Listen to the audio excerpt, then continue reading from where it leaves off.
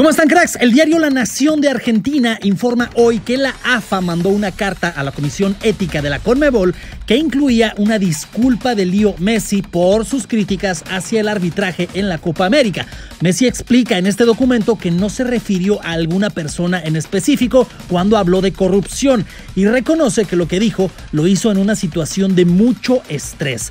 Con esta disculpa, la AFA pretende obviamente que la Conmebol no castigue a Messi. Acuérdense que se dijo que hasta dos años podrían caerle. Los abogados quieren que se le aplique el castigo correspondiente por la roja contra Chile y tal vez un apercibimiento o una multa por sus críticas. Esta información señala que es muy probable que el castigo final para Messi incluya perderse el primer partido de las eliminatorias rumbo a Qatar. En eso quedaría. ¿Qué les parece? La información más importante del fútbol la encuentras aquí. Suscríbete.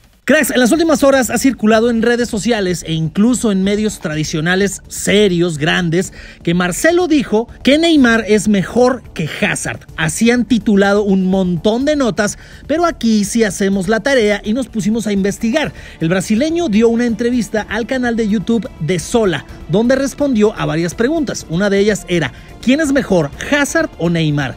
Esta fue la respuesta del lateral. O Hazard é um cracaço, muito bom.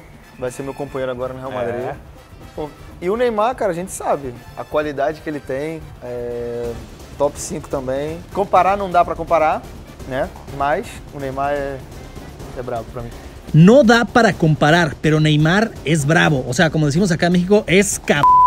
Como vemos, Marcelo obviamente prefiere a Ney, amigo suyo desde hace mucho tiempo, pero en ningún momento dijo que era mejor que Hazard, a quien también calificó como un cracazo. En esta entrevista también dijo que Ney sería bienvenido en el Real Madrid a pesar de su pasado culé. Hablando de comparaciones, hace muy poco Iván Rakitic declaró que no le preocupaba la llegada de Frenkie de Jong porque tenía su puesto asegurado, algo así dijo el croata. Pues en la entrevista de Jong habló de Rakitic. ¿Habrá competencia por el puesto? Esto dijo, hemos hablado de muchas cosas, pienso que es un gran jugador, lo respeto muchísimo, es un ejemplo para mí. No voy a decir que vengo para jugar en su posición, a mí me da lo mismo la posición, yo lo que quiero es jugar y me da igual dónde. Vámonos a Estados Unidos, donde ayer Ibra dio cátedra, metió tres en el derby de Los Ángeles, uno más que Carlos Vela que hizo doblete.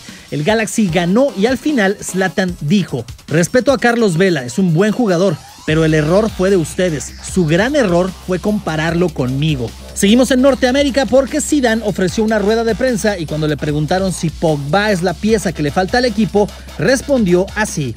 Mira, que, lo que te puedo decir, porque al final, como siempre, tenemos que respetar las cosas de uno, de otro, y, lo, que, lo que te puedo decir yo es, es con el club, eh, eh, sabemos lo que, lo que queremos eh, y sabemos que de todas formas puede hasta el día 31 podemos tener cambios. Además dijo que el papel de Bale seguirá siendo el mismo, lo que nos dice que el galés seguirá en la banca si no sale. Yo tengo mucho rato para jugar al fútbol. El fútbol es mi vida, mi pasión y me estoy sintiendo muy bien, dijo Paolo Guerrero. Trabajo con los jugadores que el club pone a mi disposición. En este momento Gonzalo está disponible y lo considero 100% en los planes. Si luego el club toma otras decisiones, me adaptaré, dijo Mauricio Sarris sobre el Pipita Higuaín. Nico Kovac, técnico del Bayern, reveló que en el club quieren que Renato Sánchez continúe. Por otro lado, respondió con un rotundo no a la posible llegada de Garrett Bale. El acuerdo entre la marca Audi y el Fútbol Club Barcelona terminó, por lo que los jugadores tendrán que devolver sus autos a menos que los compren, claro, con facilidades. Marc-André Ter Stegen anunció en redes que será padre por primera vez. ¡Felicidades! Dice Radio Montecarlo Sport que el Paris Saint-Germain está interesado en Paulo Dybala. El Benfica fichó al delantero brasileño Carlos Vinicius por 17 millones de euros. Informa Sky Sports que el United ha rechazado una oferta del Inter de 60 millones de euros por Lukaku. Por cierto, los Diablos le ganaron 1 por 0 al Inter con gol de Greenwood. Y eso es todo por hoy, cracks. Gracias por acompañarnos en este video, por dejarnos tu like y por compartirlo.